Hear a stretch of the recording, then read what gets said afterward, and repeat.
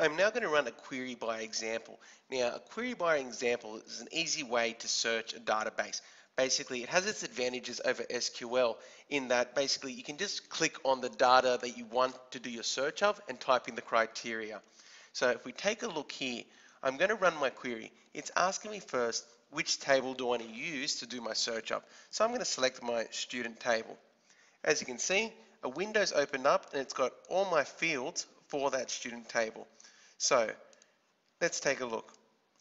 Now in my query, I want to look for students that live in the suburb of Kogarah. So I'm going to put in my last name, first name, and suburb, okay, as the fields that are going to appear in this search. Now all I did was double click and they showed up down the bottom.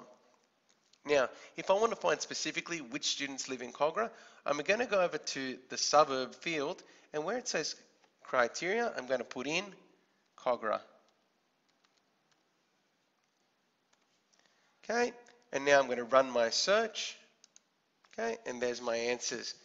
Okay, so basically running a QBE is a really easy way to do an actual search of a database. There's no coding like in SQL. It's just simply clicking on what fields you want and typing in a criteria